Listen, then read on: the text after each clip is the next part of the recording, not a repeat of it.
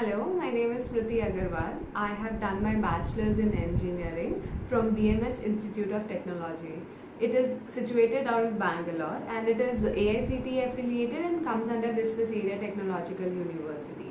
Uh, BMS IT offers a lot of streams in engineering. I was into telecommunication and the course is well paced and well structured.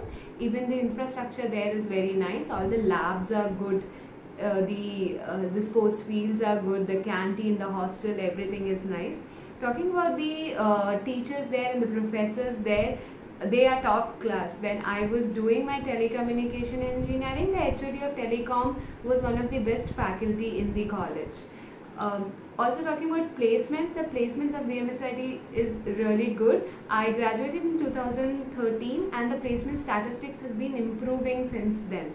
I have enjoyed my four years there and I think it is, you should consider that